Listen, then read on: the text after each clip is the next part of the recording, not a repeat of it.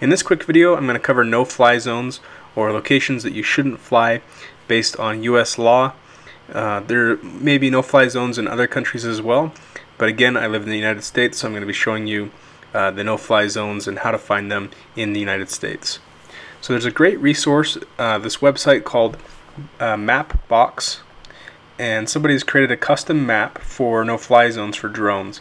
And the URL is www.mapbox.com slash drone slash no dash fly. And on here we can see that they are maintaining a database of, of no-fly zones in the United States.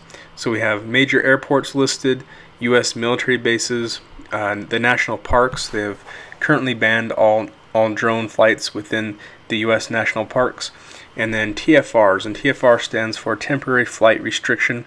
This would be a sporting event or some other event or location that has a temporary flight restriction, meaning that you can't fly there at that time.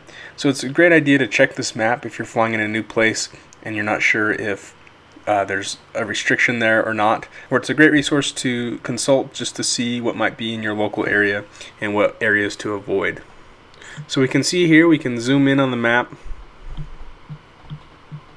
And this red area right here is Yellowstone National Park. So it's a national park. And Teton National Park's right below it. And of course those are no-fly zones and so it's it's outlined in red.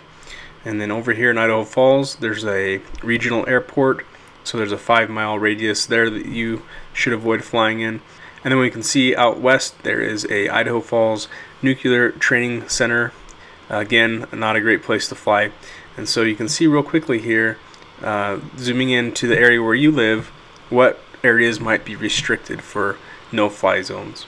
So I encourage you to check out this resource, see if there's any no-fly zones near where you live or where you want to be flying, and we'll see you in the next lesson.